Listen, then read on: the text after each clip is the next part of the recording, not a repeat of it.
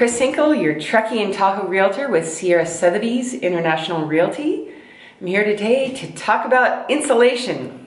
Now whether you're building a new house, putting on an addition, or buying an older home that you want to add insulation to, here's a few tips you might want to think about. A lot of people think that the only insulation is just batt insulation. There's a lot of choices. Now, for instance, we're building this building I'm in right here, and we are using a combination of products so we can get the highest performance for the least cost. So in the ceiling right here, we're using a combination system. It's a closed cell spray foam polyurethane insulation, and we're gonna put Batzel underneath it. The product that we use is a Johns Manville Corbond number three, and it its R value is about seven per inch. Now the reason to use spray foam insulation is because it provides air sealing and a moisture barrier all in one step.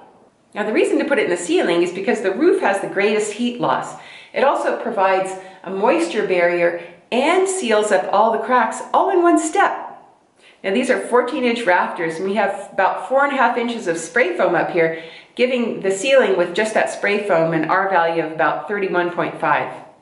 Now the cost for the spray foam insulation is about $1.20 per square foot, which is 12 inches by 12 inches by one inch. It's not cheap insulation.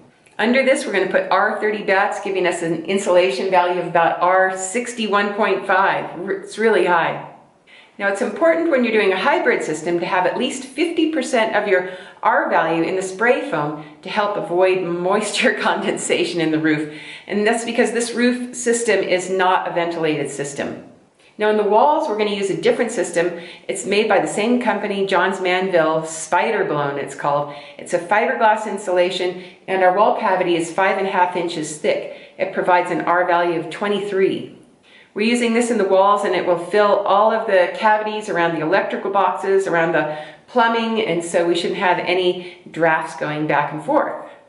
Using the fiberglass prevents what's called the chimney effect, so we don't have long channels of air pockets which pull the warm air up and out of your house. I really like using this fiberglass blow-in insulation because it fills all of the cavities. It's five and a half inches thick. It has an R value of 23. We put the 4 mil plastic over it to act as a vapor barrier. The fiberglass batts in the ceiling don't need that uh, foil coating on one side because that is a vapor barrier and we already have a vapor barrier. Now if you want to re-insulate or put some energy savings into a home that you're buying or already own, there's a couple of different options. I know one of the sexiest things to do is go ahead and replace all the windows, but that's not where you're gonna get the most energy savings. You wanna insulate. And you can do that by drilling holes from the inside of the house into the wall cavity or on the outside of the wall and spray in some insulation. If it's an older home, you might be taking off and replacing the roof, and you could take off that, that roofing, spray in the insulation, and put new roofing on top. Another place to insulate an older home is under the floor. You can spray in insulation under there or also put batts or both. Now insulation can be very costly, but it's well worth it. It'll pay off in about seven years. We, this building has about 665 square feet of garage below with another livable space above. That's about 429 square feet. And altogether, the insulation in this building, we're spending about $8,200. I'm not an insulation expert. My husband's just been building homes for over 40 years in this area, so I just happen to know a little bit about building.